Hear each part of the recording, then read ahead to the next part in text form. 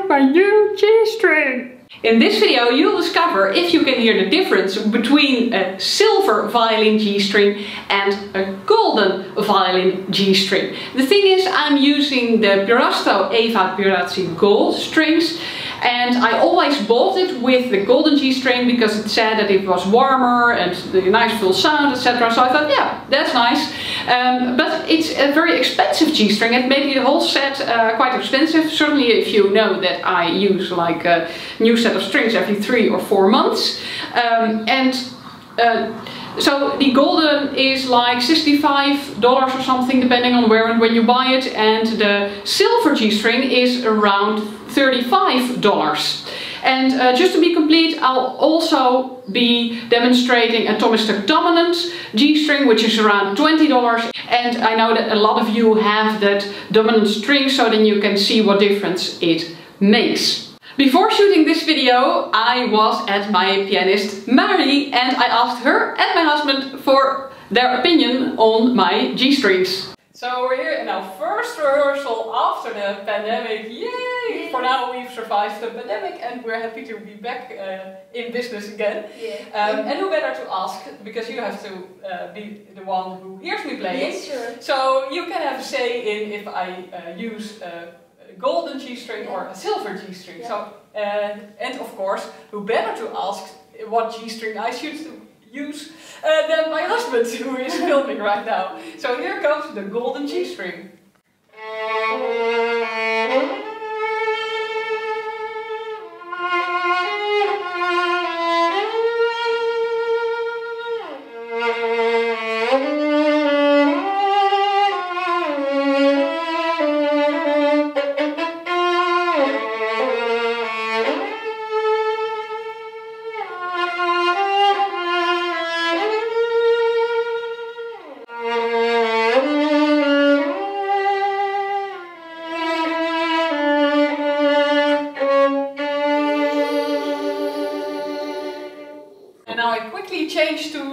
Silver G-string. Wonder how you like that? Yeah.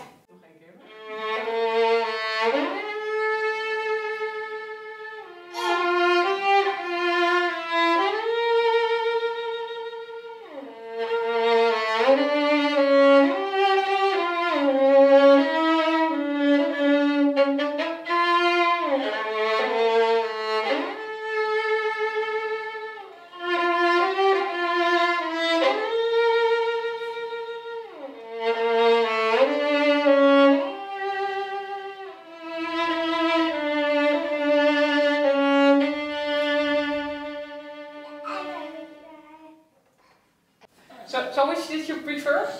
I think I like silver one Okay. because the sound is warmer than the gold. Yeah, maybe clearer even. Yeah, I think so. Yeah, the golden is a bit muffled. Yeah, It's a lot more expensive by the way. indeed. Oh, yeah. The, the silver is uh, $35 Yeah. and the golden is 65 Gold is expensive, but it doesn't necessarily sound better. So- Yeah. Now, honey, what did you think about my G-string? no comment. Did, did you hear a difference between the silver and gold? No, not at all. Wasn't paying attention as well, so. okay. By the way, after this video, my husband admitted that he just didn't feel like talking into the camera, so just said he couldn't hear a difference, but he liked the silver uh, as well. So just to be complete in this video, uh, I will play on the three different G strings. So the Evah Pirazzi Gold Golden G string, uh, same silver G string and the Thomastik Dominant uh, G string. Uh, this is recorded with a different microphone than uh, the footage at my pianist Mari. So then you can know what difference that makes. Here is the Golden G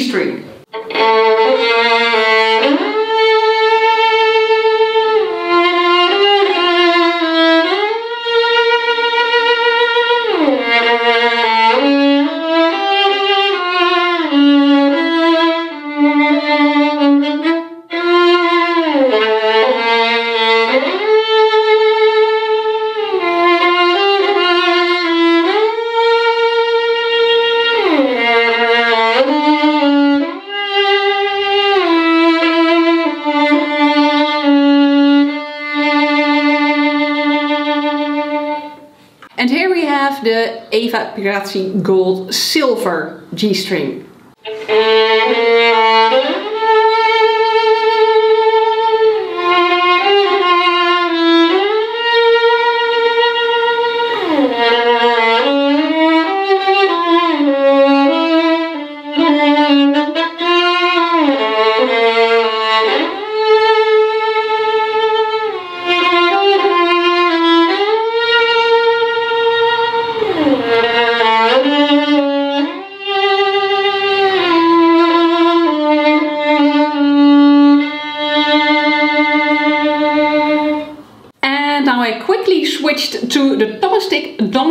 Dominant G string, the standard one that is like a lot of G strings, uh, silver wound.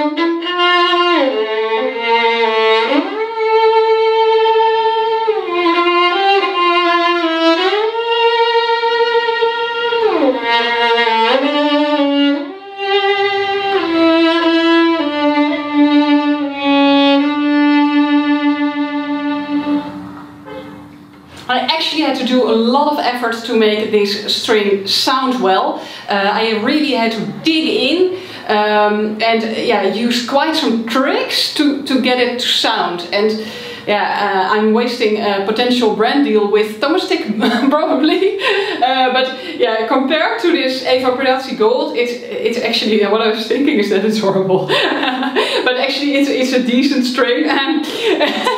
Uh, that a lot of people are happy with, that a lot of people use. Uh, but uh, to play this piece, it really was a challenge. What mainly was a challenge to get higher up the G and to get a full sound. So those two things, like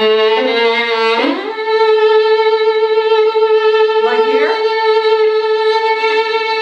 You see, so I if I press it, then it, it, it makes real sounds, and if I don't press it, I don't really like the sound uh, as well, and it also feels like yeah I'm digging in, and then it, it feels like room, like like uh, it, it's having too much uh, suspension uh, right there. So that, that's the difference, uh, and I think both Evah Pirazzi Gold sound much better, but they are of course more expensive. So um, sorry, Thomastik.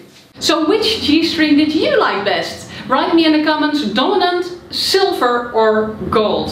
And maybe let me know what you like about it. So what I noticed from uh, these three strings um, is that, you know, Thomastik dominants aren't bad strings. I've made a comparison uh, between the dominants and the Fiddlerman strings that might be very interesting for you.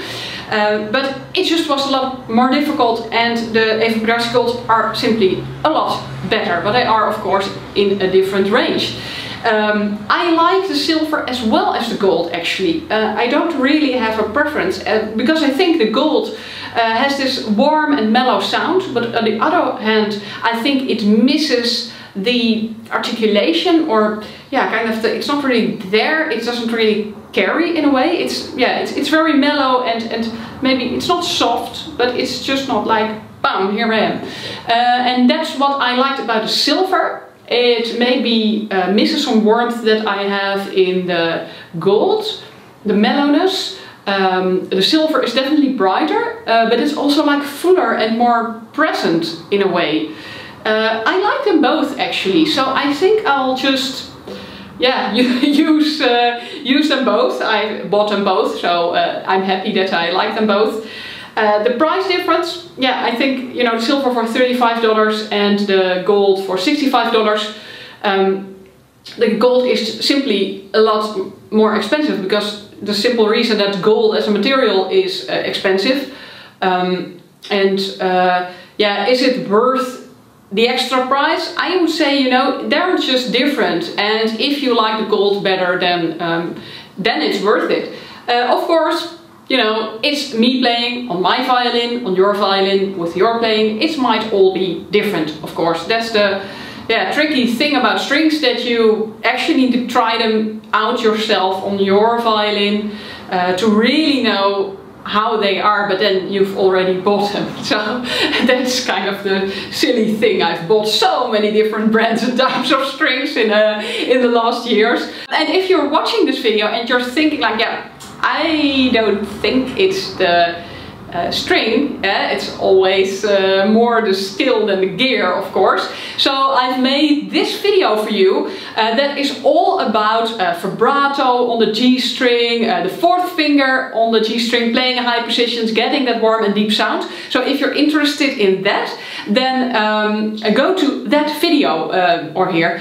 Eh, I'll put it eh, kind of everywhere eh, because that's all about playing on the G string, how to make a good sound on it. So I hope this was interesting to you please like this video. If you want to see more reviews and lessons mainly about bowing technique, then um, subscribe to this channel. I love to welcome you as my YouTube student and hope to see you in the next lesson. Bye bye!